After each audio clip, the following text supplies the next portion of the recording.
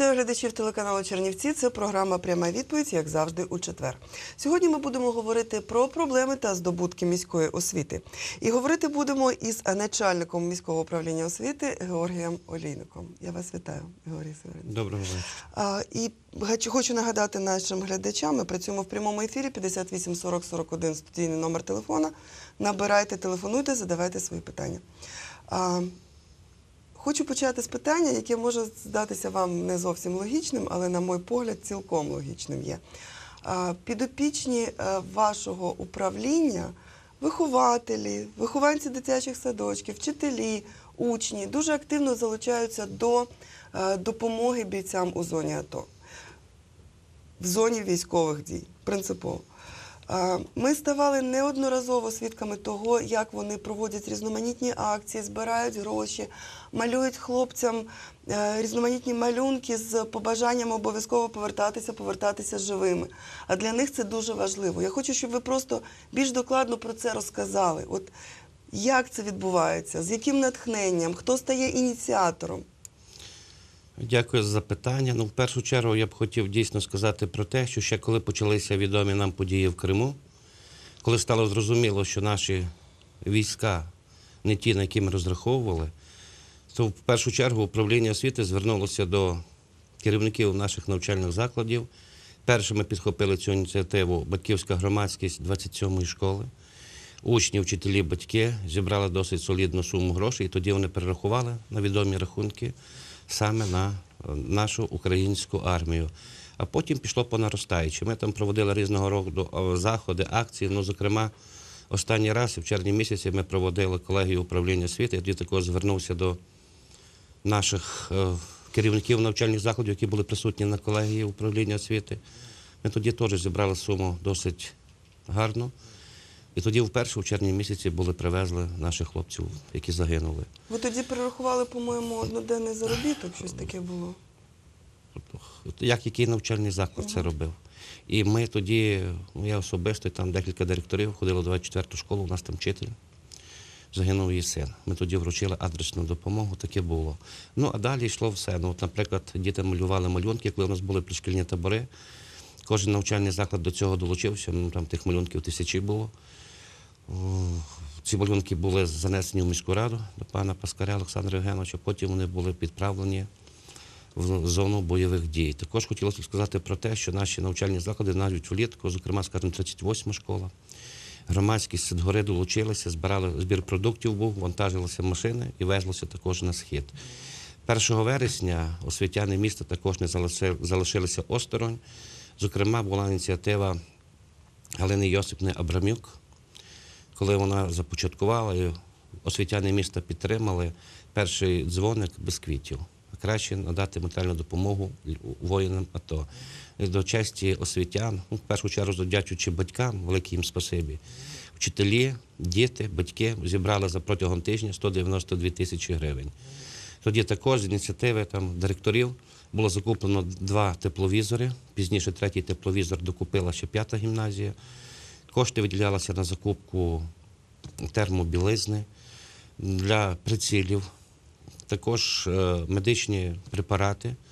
Ось таким чином освітяни до цього Ну, а самі учні, от мені цікаво, освітяни зрозуміло, бо це вже, е, так би мовити, сформовані так люди і, і душевно, і що називається розумово. А от самі учні, вони стають ініціаторами якихось акцій. Наскільки в них взагалі от, е, патріотичні такі настрої присутні, чи це помітно по них? Е, Пані Ларисо, хочу сказати вам і кажу тим, хто нас зараз дивиться, те, що діти наші змінилися. Я вам тут такий невеличкий приклад. У червні місяці нам прийшов лист з одної громадської організації нашого краю про те, що необхідно запровадити е, учнівську форму, щоб вона виглядала в національному стилі. Розумієте, почалися різні розмови, суперечки, потрібно чи ні. Чи потрібно святе перетворити в буденність? Ми нічого нікому не казали. На 1 вересня левова частина учнів наших шкіл прийшла в національному одязі. Так, Ніхто нікого не заставляв. З квітами прийшли першокласники, і то не всі. Розумієте? Гімн діти співають з великими очима, з розкритими ротами, чого раніше ми них не могли ніяк добитися. Патріотизм досить високий, його необхідно підтримати, зберегти. Той патріотизм, який нам подарував, на жаль, в лапках Путін. Діти наші, як ніхто інший, переймаються. Що найстрашніше, що діти в дитячому віці вже розберестають політиками і роблять акценти. Розумієте, на цьому ще віці повинні бути дітьми, вони вже чітко бачать образи ворога. На жаль, воно є. Така в нас буденність тепер. Така буденність тепер. А, якщо ви вже завели про форму, хоча, напевне, це не, не мало би бути на початку програми, мені все ж таки цікава е, ваша особиста думка стосовно того, чи повинна бути в школах форма. Здебільшого в молодшій школі все ж таки дітки ходять там в формі, а вже в старшій школі там, що називається, хто в що вдягнеться. От ви як думаєте? Моя точка, моя точка зору, ну, сам я вийшов з радянської системи, як більшість з нас, дорослих, так? Ми ходили в шкільній форма формі. Обов'язково вона була. Ми зараз також не заперечуємо проти форми, проти форми. Але повинна бути якість, ціна відповідати якості. Та форма, яка існує в, наших, в нашій мережі торгівельній, або дуже дорога, або низької якості дешева. По-перше, по-друге, все-таки це на розгляд батьківської громадськості. У нас були спроби окремих навчальних закладів, ну, зокрема, скажімо, гімназія 4, вони свого часу емблеми розробили свої школи. І ця форма була початок 2000-х років, але буквально через 3-4 роки середня старша школа потихеньку від того відмовилася. Все-таки Хочуть старшокласники в джинсах ходити в школу. Ну, ви знаєте, коли приїжджають до нас різні делегації за кордону, вони в джинсах, в світерах, і це їм нічого не заважає. А нав'язувати думку, яку ну, ми не маємо права просто. Хоча я нічого проти форми не маю. Але тут є інший момент, знаєте, батьки, які е, заробляють більше, мають змогу вдіти дитину краще, і тут починається така градація дещо. Ну, це друга сторона медалі, так би мовити. На жаль, є й таке. Угу. У нас є глядач, ми слухаємо вас ви в ефірі. Добрий вечір. Добрий вечір. Е, зараз така проблема, в садочках не вистачає місць. І ось нам обіцяли, що в 16, е, в 12 школі будуть е, плануватися відкриватися групи. Коли це таке планується? Скажіть, будь ласка. Дякуємо вам за запитання. Хочу сказати про те, що ще у 2013 році розглядалося питання створення на базі 12-ї школи. Це мікрорайон Клакучки, вулиця Бережанська, 17, якщо мені не зраджує пам'ять. Там мало відкриватися чотири групи. Чому? Бо саме в тому мікрорайоні гостро стоїть питання з дошкільним навчальним закладом. Там тільки на вулиці Гаріна один 50-й садочок. Групи переповнені. Закладалися гроші до бюджету. На жаль, фінансово місто не змогло потягнути в як і в тому році, так і в цьому році відкриття груп. Зараз в титульні списки внесено знов е, 12-й садочок про те, щоб все-таки ці групи відкрити. Прямо з осені е, на певну суму коштів замінені вікна в декількох навчальних класах. Ті, які були переміщені своїх класів, там, де повинні відкриватися групи. На 92 тисячі ця робота вже завершується. Буквально вже в чотирьох класах вікна встановили.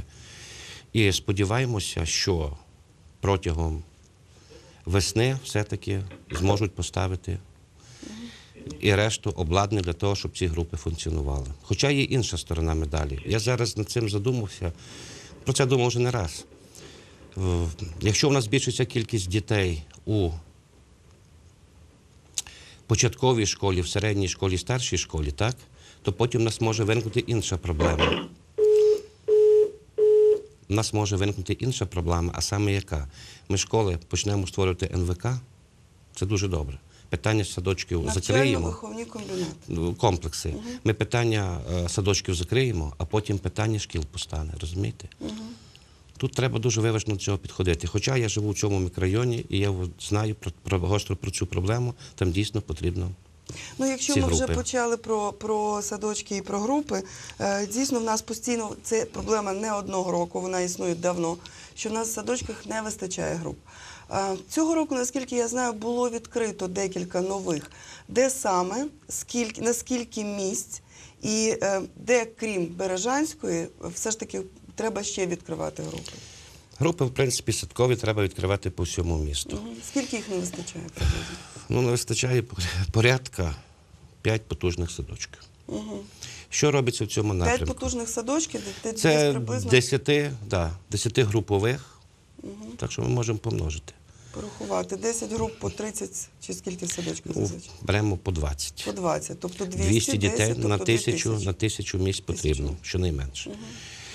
В цьому році і весною відкривалися групи, осінню відкривалися групи. Зокрема, у 25-му садочку дві групи були до Дня міста відкриті, в 22-му садочку. Зараз здійснюється капітальний ремонт в 43-му садочку. Також буде група відкрита.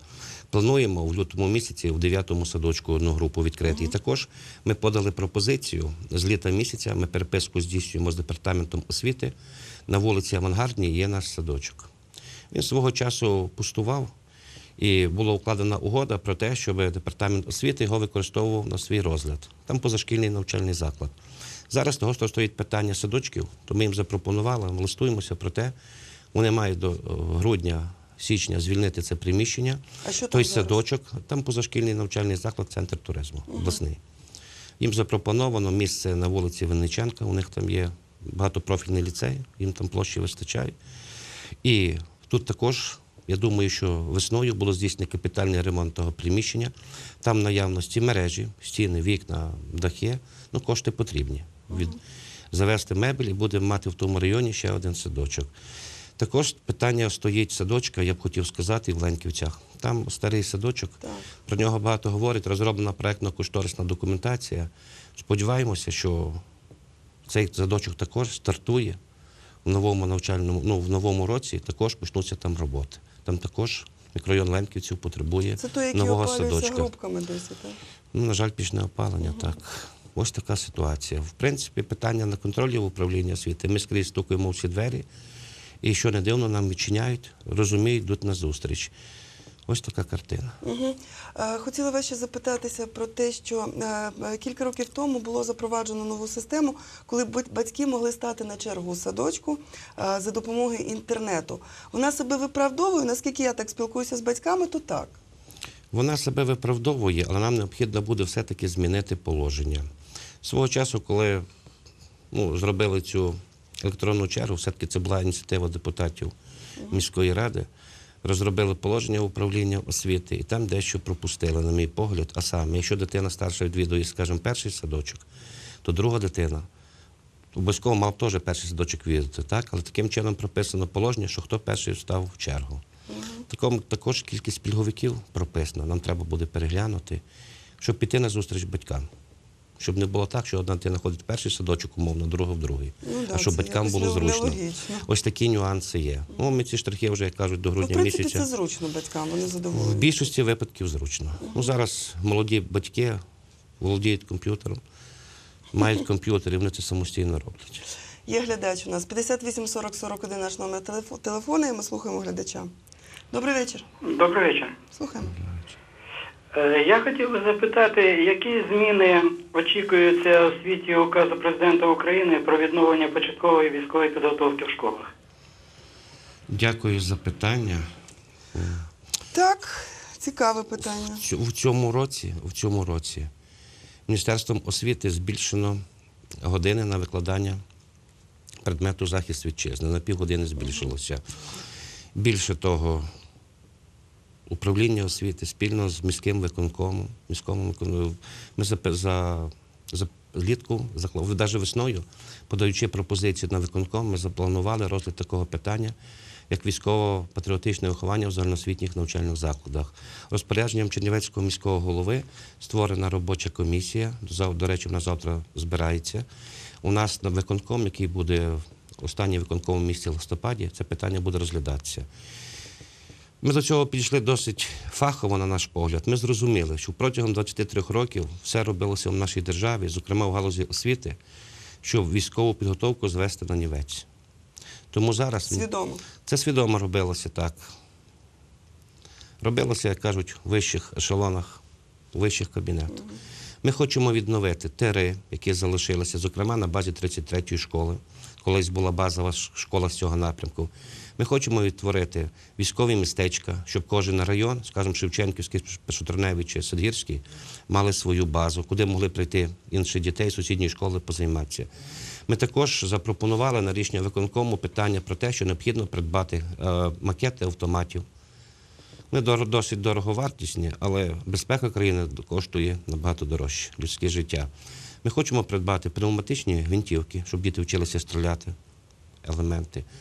Більше того, ми плануємо до кінця е, цього місяця провести військово-патріотичну гру Захисник. Ми до цього серйозно ставимося. І сподіваюся, що виконком нас підтримає, кошти будуть виділені. Хоча в наших школах, хочу сказати, наприклад, третя школа, перша школа, рядом тут так, вони вже мають ці автомати, і хлопці мають змогу вчитися розбирати, збирати автомати. Колись цьому радянська система приділяла досить значну увагу, Так, пам'ятаю. а потім це, я кажу, все було гарно похоронено. Ми мали скрізь друзів, ворогів не мали. Лише на заході мали ворогів. А виявилося, що все не так. Що все навпаки.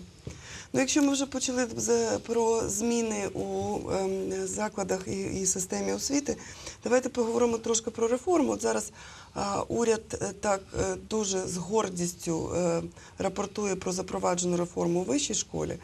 Е, скажіть, будь ласка, ну я не буду просити вас оцінити цю реформу, але е, чи потрібна реформа середньої школи, і чи вважаєте ви, якою вона взагалі має бути ця реформа? Моє, на моє глибоке переконання, реформа потрібна. Але щоб ця реформа не була для проформи. У нас багато здійснилося реформ, вони не були до кінця доведені. Будь-яка реформа потребує фінансового забезпечення. Зараз широко освітяни, ну, як кажуть, нашого краю, нашого міста, всієї України обговорюють проект реформи. Там, що цікаво, пропонується ступеневість шкіл. Ну, зокрема, такий є варіант, що школа першого ступеня це будуть учні першого до шостого класу, другий ступень з 7, 8, 9 класи, і третій ступень 10, 12 класи. Так? Це буде профільна школа. Це досить цікава модель, така модель притаманна освіті Західного, Західної Європи. Ось те, про що йде мова. Там взагалі цікаво йде мова про керівництво навчальними закладами. Директор, як кажуть, обирається громадою на конкурсній основі. І з ним укладається Якою контракт міста, мікрорайону, так, там, де він буде керувати. І терміном на 5 років ця людина обирається. Вчителі також на контрактній основі працюють. Працюють рік, зарекомендували себе як талановитий здібний. Так? З тобою далі вже, як кажуть, продовжують контракт, то вже безстроково працюєш. Ну, багато є цікавих варіантів, але дуже важливо те, щоб було відповідне фінансування і щоб ця реформа була до кінця доведена. Чому я це кажу? У 2000 році у нас ми перейшли на 12-річний термін навчання з шестирічного віку, все це робилося швидко. І в кінці кінців потім почали відмовлятися наступні міністри освіти. Розумієте? Весь час в галузі освіти експериментують. То потрібно, то не потрібно. А повинен бути один напрямок. Міністр міняється, але державна політика повинна єдино впроваджуватися. І тому, на моє глибоке переконання, повинно бути глибоке обговорення громадськістю в першу чергу. Потім фахівцями, потрібно чи не потрібно. Якщо всі доходять консенсусу спільно, потрібно, робимо. Це має бути чітко прописано, ні, щоб новий склад уряду міняв ту чи іншу роботу. Сто відсотків. Кожен хоче залишити свій е, внесок якийсь і слід в історії, а часом лишає такі сліди, що ганебно стає. В нас є глядач. Слухаємо вас. Добрий вечір, Іван Добрий. Добрий Таке вечір. запитання. Зараз у школах міста є акція і відвідують школи фахівці з Німеччини. Е, Це велика і серйозна робота по збереженню тепла, газу, світлу. Хотілося би знати, які далі будуть події, зв'язані з допомогою німецьких фахівців відносно збереження електроенергії, тепла і газу. Дякую. Випередив глядач моє питання. Так, дійсно, ви на завтра проанонсовані навіть на брифінгу. Це проект ГІС, так він називається? Так. ГІС. Ну, в серпні місяці е, керівництвом міської ради було заплановано освітянам прийняти участь в цьому пілотному проєкті. в чому він полягає? В чому він полягає? В тому, що все-таки міська рада думає про те, як залучити інвестиції закордонні для проведення капітальних робіт з питань енергоменеджменту, утеплення приміщень, ну, створення комфортних умов. В першу чергу переслідуючи економію, потужну економію використання енергоносіїв. Освітяни міста в цю роботу включилися. Перше зібрання, яке відбулося на базі другої школи, були присутні керівники навчальних закладів. Потім були визначені школи. Вже у вересні місяці ми провели освіті, ну, управління освіти спільно з міською радою, провели захід економно жити, себе і країну збагатити. Конкурси були малюнків, бачення очима дітей, що необхідно зробити. Е, Було підведено підсумки нагороджено, зацікавило дітей, як повинно бути, розумієте? І як ніхто інший, діти включилися в цю роботу. Щодня вони відслідковують, скільки електричної енергії даний навчальний заклад споживає. Тобто створені були робочі групи. Це серед учнів старших класів. Ну, до них, звісно, річ підключені вчителі. Це вчителі фізики в першу Юрій чергу. Сергійович, я дуже перепрошую. В нас є дзвіночок з мобільного, щоб ми не тримали, просто потім продовжимо. Добре. Добре про енергозбереження. Слухаю вас. Добрий вечір. Добре. Скажіть, будь ласка, як можемо робити так, оскільки ми знаємо, що у нас в Чернівцях існує тільки одна румуномовна група в дитячий садочок номер один на Шевченко, але там є змішана група від 2 до 6 років дітей. Щоб було хоча б дві групи, щоб знаєте, як діти е, ходять в школу вже, але там є, в цьому групі є і діти, які мають два, два з половиною роки чи три. Це просто нереально так. е, Я зроз... дякую, я зроз... Зрозумів питання. Ми розглянемо пропозиції, розглянемо можливості, щоб дійсно групи не були змішані, а щоб конкретно були вікові групи. Якщо це ясельна, садкова чи старша Хоча група. ще одну групу Ми, слушне зауваження, гарна, до речі, пропозиція. Хоча у нас, хочу сказати, є групи, скажімо, єврейської громади, також є, зокрема, там в 25-му садочку. Ну, я продовжу це питання по Так, по енергоджізу. енергозбереженню. Бо Енерго- мені цікаво, ну, ну малюнками не збережеш Слухайте енергію. далі. Тобто Наші вони- діти включилися. Діти на перервах вимикають світло. Діти дивляться, потрібно воно чи ні. Використання води. На це звертається увага. Це все разом, так? Більше того, ми підключили діти, діти спільно з вчителями підключили всіх учасників навчального виховного процесу до цього проекту. У нас там визначено 10 шкіл. Е, В вівторок на базі 41-ї школи відбувався захист проєктів. Ну, були якраз представники з Німеччини, що вразило, що навіть директори шкіл, скажімо, директор третьої школи, директор п'ятої школи прийшли і захищали свої проекти. Ви розумієте, про що йде мова? Е, Вони ж, в принципі, не фахівці, напевно, цього. Вони не фахівці, але розумієте, коли доросла людина разом з дітьми робить певну роботу, стає цікаво всім. Особистим прикладом. Найбільше мені ще сподобалося те, наприклад, учні першої гімназії, чотири дівчини вільною німецькою мовою.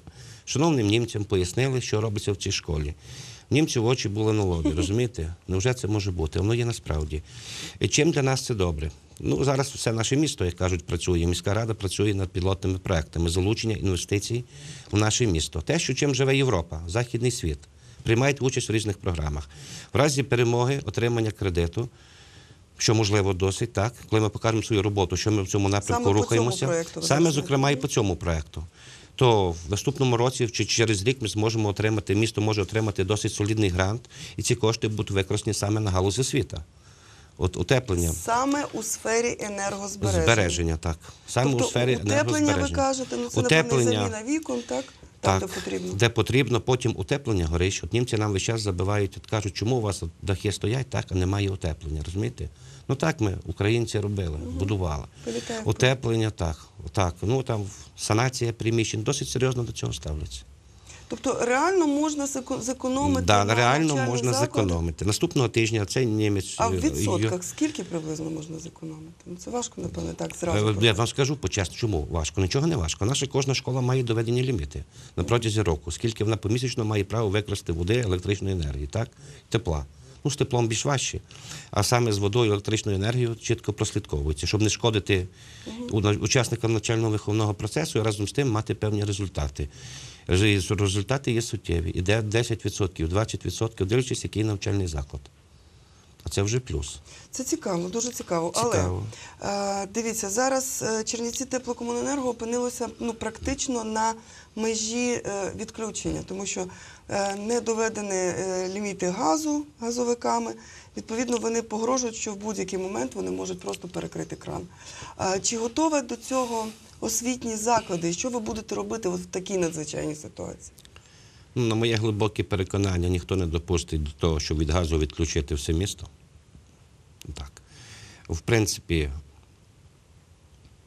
у нас попередньо була домовленість з керівниками навчальних закладів, був наказ департаменту, узгоджено з нами про те, щоб протягом вересня, жовтня, листопада, середини грудня по можливості зекономити за рахунок ущільнення 10 уроків. Так, це вже 10 днів. У, ве- у жовтні місяці, коли ми дітей розпустили на осінні канікули, діти фактично було тільки 4 дні. На канікулах і то з них два були вихідні. Три дні ми в дітей позичили. Якщо все буде нормально у нас з опаленням будемо з газом, з теплом, так, то ми розпочнемо навчальний процес не так, як раніше говорилося 10 лютого. Тому що наш погляд це півтора місяця Ви прогулів. маєте на увазі канікули зараз? Канікули, так. так. Це буде. А ми розпочнемо канікули з січня місяця, якось звичайно, додавши дітям три дні. Угу. До І, так, я думаю, ніхто в нашій державі не допустить до того, щоб у нас така була критична ситуація. З газом ми будемо, і у нас все буде гаразд. Ну, але запас ви певний зробили в навчальному Ми вже зробили за перший семестр, ми зробили 13 днів. Ну, доходить до 13 днів, розумієте, це добрих півмісяця. Тобто в разі чого просто... Так, хоча ми не та пропозиція, ми можемо, як то кажуть, і до лютого місяця перебувати на канікулах. Але у нас в лютому місяці з практики часто бувають карантин. Говорять, ну і взагалі фахівці говорять від погоди про те, що лютий місяць буде досить теплий, відлига буде, так? І в цей якраз період діти почнуть, ну, на жаль, Хворіти. І ми закриємося на карантин. Якщо ми ще в лютому закриємося на карантин, січень прогуляємо, що ми тоді будемо мати з учнями в першу чергу 9-11 класів? Ось така картина. Тобто це не бажана картина. Так. Є глядач у нас, ви в ефірі, слухаємо вас. Добрий вечір. Добрий вечір. Слухаємо. Скажіть, будь ласка, у мене таке питання. Ми е, е, два місяці тому повернулись за кордоном з сином. Йому 19 років, і не знаємо, в якій школі він може продовжити стаціонарно навчатись в нашому місті. Треба врахувати, якщо ваш син встановити йому рівень його знань, потім в тому мікрорайоні, в якому ви проживаєте, ви там і будете навчатись, де вам зручно. Тут проблем в цьому немає. Якщо у вас виникають якісь питання, можете особисто до мене звернутися в понеділок з 2 години, вулиця Героїв Майдану, 176, кабінет 102. Я вас прийму і дам вам всі роз'яснення. Тут проблем ніяких немає з цим. Це в приміщенні, де знаходиться Шевченківська районна Так, рада. так. Щоб так орієнтуватися більш-менш, е, не буду рекламувати ці магазини, які там поряд знаходяться, бо зазвичай, знаєте, скеровують. А, Георгій Северинович, ви були обрані е, на посаду, я би сказала, громадою, тому що був оголошений конкурс, в результаті якого е, посаду начальника управління освіти Чернівецької міської ради власне посіли ви. До цього ви досить довгий час працювали заступником начальника. Е, В мене питання таке: після того, як ви прийшли на посаду, чи почалися тут кадрові зміни, чи по, е, полетіли чиїсь голови, чи ви є та мітла, яка, знаєте, по-новому мете? Ну, як вам сказати? Ну, я прийшов в конкурсний відбір, так як і всі зі мною були учасники. Нас було четверо чи п'ятеро людей. Ну, враження без коментарів. Я прийшов в цей конкурс, ну, мене призначили на цю посаду. Чи я вимітаю, я придивляюся, розумієте, з плеча рубати не дуже добре. Хоча і директора звільнив. У, жовтні місяці звільнив двох людей також. Директор Розумієте? якого школи? Однієї шкіл. Ну, є нюанс. Зараз, наприклад, ми вивчаємо питання по двох навчальних закладах, теж є питання до керівників. Розумієте? Ми Це ба- не професійність чи щось? Це і професійність, і деякі питання, які у нас підозру викликають. Розумієте? Коли люди гинуть на сході, коли чітко сказано, що можна, що не можна, допускаються вольності. Вони не повинні зараз бути ці вольності. Повинні всі бути зібрані в кулак. Ну, наперед не кажу, не можна казати, поки не доведено кажу до кінця, але це питання ми вивчаємо. Це, бу- в тому числі і питання корупції. Освітня галузь е, вважається вже традиційно одною з найбільш корумпованих. Як ви з цим боретеся? Доходять до вас якісь, е, е, ну не, не скажу, що чут- чутки, якісь документи, якісь факти, хтось перевіряється з цього приводу, тому що ну, ми ж знаємо, що там, де освіта, там завжди гроші. На жаль, Ліві. на жаль, такий імідж сформувався у світі, чого Роками. соромно, роками. Чи боремось ми з цим боремось? Чи є результати? Певні результати є. Але що б я хотів сказати, користуючись нагодою, я хотів до батьків звернутися. Шановні батьки, не провокуйте і не робіть цього. По-перше. А по-друге, Тобто не давайте хабарі. не давайте Це хабарів, будьте гордими, гордими. І що б я хотів сказати, ми також до цього ставимося скрупульозно. Доступу к тілу немає у нас в управлінні освіти. В школах це також припинилося. Те, що мені відомо. Хоча є і факти, коли мені говорили, що весною в нашому, от в нашому навчальному закладі на 8 березня ніхто ні з ким нічого не ходив. Але після 8 березня Там десь хтось когось світав квітами. Розумієте, що є? Ну, квіти це квіти. Буває таке, знаєте, що вчитель каже е, учням класу або не учням, а батьківському комітету, що вона хотіла би отримати на е, день народження або день вчителя. Мені би ці батьки про таке розказували. Якщо нас дивляться, а дивляться глядачі, телефон 330 87 і 363 34. Будь ласка, телефонуйте, заходьте, повідомляйте. Зразу будемо оперативно реагувати, не відходячи. Не відходячи. Люди часто бояться, що це відобразиться, знаєте, на їхній дитині. Вже не Що треба. одразу стане Я вважаю, відбулася революція гідності. Треба перестати боятися. В кінці кінців не треба вже боятися. Якщо ми будемо боятися і далі, що будемо робами, І давайте свого починати сумління, з себе, правда? звісно. Ну, така банальна фраза, тим не менше. 58 40 41 наш студійний номер телефона. У нас знову є глядач. Ми слухаємо вас. Ви в ефірі. Добрий вечір. Добрий вечір. Григорій Северинович, я від імені батьків однієї з шкіл не хочу сказати вам велике спасибі за вашу роботу та толерантне ставлення до всіх без винятку. Спасибі вам та гарних успіхів у роботі. Дякую. А що ж ви школу не назвали? Добре, дякуємо дійсно. І все ж таки про батьків хочеться ще трошки поговорити. Е, В нас батьки зараз такі дієві, такі активні, і я знаю, що вони е, часто із своєї ініціативи допомагають школі, класу. От наскільки долучаються батьки до організації учбового процесу, до тих же самих ремонтів і яким чином? Та нічого гріха таєте. Ви ж знаєте, що 90-ті роки повальне безгрошів'я. Угу. Так? Вчителів виловлювали, затягували на роботу. Це до мене було, хоча я працював. Якщо у переводі еквіваленті, то отримали від 6 до 10 доларів зарплату. Так. По півроку не отримали зарплату. Вистояли. Розумієте? Школи отримали. Ну, проплачувало місто енергоносії, харчування. Так? Ну і ту зарплату запізніло. Грандіозних ремонтів не робилося. Трималося на плечах батьків. Наші школи не зруйнувалися. Я хочу, щоб батьки це зауважили. Наші школи стали кращими, як би там не було. Начиння в школах стало кращими, результати у дітей стали кращими. І по сьогоднішній день батьки допомагають. Але ми в цьому році, я на колегії підняв питання про те, що не може один начальник управління освіти чи управлінці приймати виважених мудрих рішень. Все-таки має бути, мають бути більше коло, ширше коло. Ми створили раду керівників навчальних закладів, куди входять досвідчені люди, як дошкільнята, позашкільники, так і керівники шкіл нового типу загальноосвітніх шкіл. Було прийнято засідання, відбулося, скажімо, в чергово у вересні, де було прийнято рішення про те, що батьківська допомога у загальноосвітніх школах там 20-25 гривень не повинна більше перевищувати в місяць. В школах нового типу у них там більше, як кажуть, є питань. До організації навчального виховного процесу там 50, ну максимум може бути 60 гривень. Цю інформацію ми довели. Найбільше, що нас турбує, у нас є випадки, коли, скажімо, у класі А, не називаючи навчального закладу, двоє-троє батьків, намагаючись догодити вчителю, розумієте, починають тиснути на 30 батьків, здайте таку і таку-то суму грошей, нам треба тето і тето. Не треба того. Я про це говорю. Нам не треба золотих рогів. Нам не треба плазми, якщо вона не використовується. Розумієте? Ініціатива інколи буває, негативно впливає навіть на імідж навчального закладу, на імідж того вчителя. І тут також 30 батьків повинні також бути принциповими.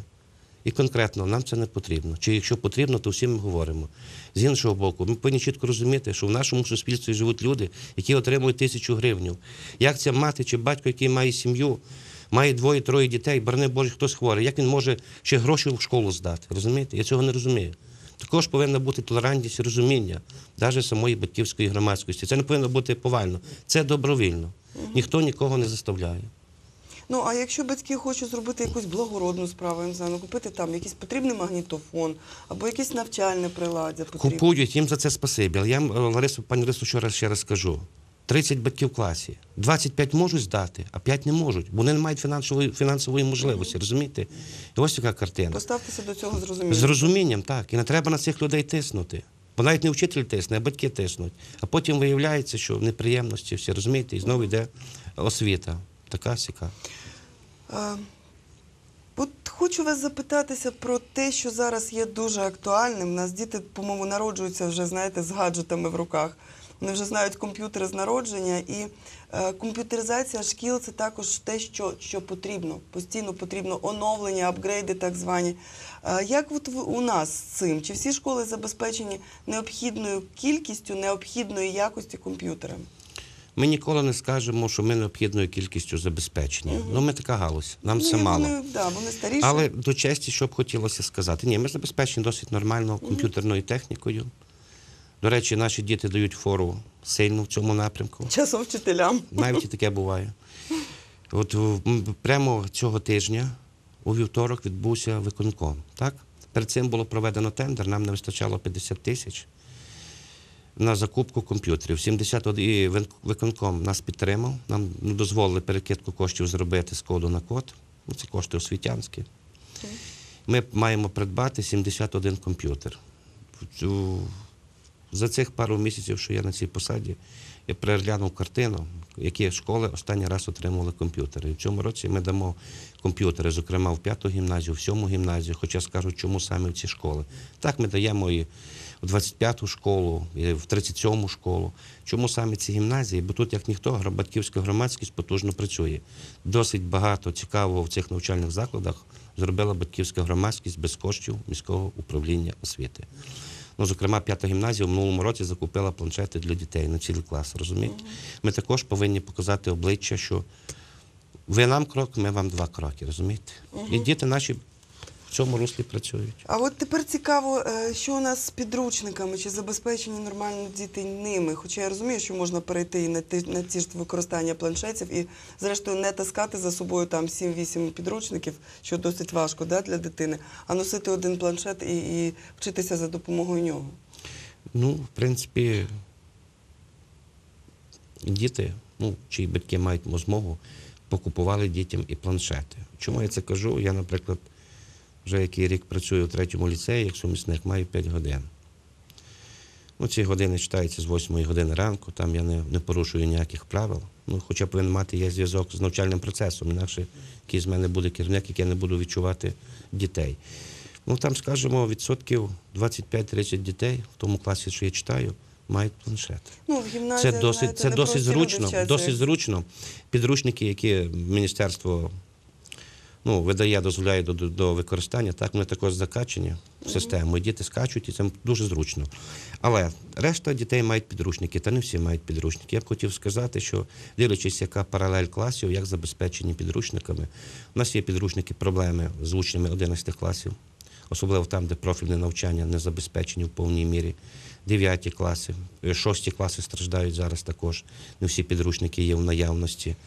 Хоча вони йдуть по новому державному стандарту. Та й початкова школа не вся забезпечена на 100% підручниками. Ця проблема є. Міністерство дозволило до використання підручників, скажімо, 2004 року видання, 2003 року видання. Якщо вони мають, як кажуть, нормальний вигляд, то ними користуються. Але кажемо правду. Всіх підручників просто не завезли. І тут постає питання якості підручників. Дуже часто батьки нарікають на те, що е, в підручниках не всіх, але багато якихось безглуздих помилок. Або написані вони е, ну, відверто змальовані з Вікіпедії, з Ютуба, знаєте, і там написані такою мовою, що дитині е, ну, просто важко зрозуміти, що там написано. Вона просто зубрить, а не вчиться, не, не мислить, а це не стимулює до навчання. Батьки праві на всі 200%. Це питання освітяни піднімало ще рік тому назад, два роки тому назад, зокрема, у нас у місті. Підручники для початкової школи не були добре апробовані, їх випустили, з помилками випустили. От, скажімо, там методобідня вчителів початкових класів збиралося і писало конкретно підручник математика. Така то сторінка. Непра- Некоректно поставлено питання. Тут допущена помилка. Розумієте, відправлялося в міністерство. На тому крапка. Суттєвих змін на, від- ну, на той час не відбувалося. Скажу більше, це був потужний бізнес-проект. За підручниками стояли великі гроші, це мільйони з державного бюджету. Певна група осіб, ці Колишнього підручники міністра освіти. ну, от, випускали ці підручники. А ми їх приймали так, як воно було насправді. Ось яка картина насправді була. Ну, цим треба щось робити, я не знаю, якісь е, додруковувати листочки з зазначенням помилок. Е, Я вам пояснюю, на оце методичні об'єднання вчителів групи робилися, і конкретно вчителям казалося, сторінка третя, така допущена помилка, скажімо, математика по такому завданню, то чітко вже все доводилося. Навіть на зборах батьківських, ну як говорять до вчителі, що доводили, щоб батьки знали, що таке є. Потім терміни, які були, скажімо, природознавства, такі терміни, що учень 10 класу не запам'ятає, розумієте? В початковій школі. Це теж ненормальне явище. Не фахівці там сиділи. Це був просто бізнес-проект, друк підручників. Чудово, страждають наші діти. Знаєте, про що хочу вас запитатися за, е, про е, дітей-переселенців? Чи знаєте ви, скільки їх зараз вчиться в наших школах чернівецьких і в наших садочках перебуває? Чи всі вони забезпечені місцями? Ну, знаємо цих дітей. Є діти з Криму, є діти з східних регіонів. Більше все дітей шкільного віку, менше дітей дошкільного віку. Ці діти відвідують школи, садочки без ніяких питань, без довідок, без нічого. Ми дозволили зразу записувати, зараховувати в садочок. Ну куди людям діватися? Біда. Навіть якщо діти не мали там, скажімо, медичної картки, то просто велася розмова. Я дав таке доручення як директорам шкіл, так і завідувачам про те, щоб вони конкретно говорили з татом чи з мамою. Дитина має прививки. Якщо немає, ми запропонуємо зробити. Відмовляється, ну це вже інше питання. Забезпеченість забезпечила. Розумієте, що цікаво? Дуже сильно зіграв колектив педагогічний, освітянський. Освітянський, я не то кажу педагогічний, діти. От, зокрема, у 22-й школі, коли туди вперше діти з Криму прибули, це весною було, так? То зразу шкільна родина зібралася, дитині купила, скажімо, форму, купила спортивний костюм, скупили рюкзак, підручники. Більше того, ми навіть акцію проводили осінню, ми відправляли на схід. Наші школи, кожна школа там готувала по рюкзачку, готувала підручні зошити, ручки, навчальне приладдя і відправлялася також на схід. Що ми не тільки тут підтримали, а також підтримали там. Також до честі депутатського корпусу міської ради, керівництва міста. У нас вже у вересні місяці була пропозиція про те, щоб цих дітей годувати безкоштовно. Вже в жовтні місяці пройшли всі етапи. Не так все просто, бюрократична машина працює. І ці діти вже безкоштовно харчуються. Діти, переселенці східних регіонів, діти, чиї батьки в АТО, і, на жаль, діти тих батьків, які загинули. Вони безкоштовно харчуються. Так. Я знаю про цю ініціативу. Давайте, знаєте, коротенько, бо в нас вже час закінчився. Просто от фізичне виховання в школах. Я розумію, чому його так е, підстригли, пі- підкарнали, скоротили. Ви пам'ятаєте да, цю історію, що було кілька смертей на уроках фізвиховання. Тим не менше, батьки дуже сильно нарікають, що фізичному вихованню приділяється дуже мало уваги. Що діти вже виростають із сколіозами, іншими проблемами здоров'я. Що тут можна, може зробити школа? Може, якісь додаткові, не знаю, там, факультативи? Пані Ларисо, школа готова проводити якісні уроки з фізичного виховання. Є нормативні циркуляри міністерські, які дітей наших зразу станом до 1 жовтня поділили на три групи. Маєш право займатися в повноцінній групі, чи малорухливі, чи взагалі тобі не можна займатися, розумієте? І ті смертельні випадки, що трапилися, налякали всіх. Міністерство розробило певні циркуляри нормативні, і всі живуть по цих нормативних циркулярах. До уроків фізичного виховання взагалі мають всі серйозно поставитись. Якщо буде потужне обговорення в громаді, якщо ми своїми пропозиціями звернемося в відповідне наше міністерство, хай сядуть, подумають, як насправді все зробити. І тоді ми вийдемо на Справа інший потрібна. якісний рівень. Дякую вам, Георгію Севериновичу. Георгій Северинович Олійник, начальник управління освіти Чернівецької ради міської ради, був сьогодні у нас в ефірі. Дякую глядачам за те, що нас дивилися і активно підключалися. Ще раз вдячна вам. Залишайтеся із нами. До побачення.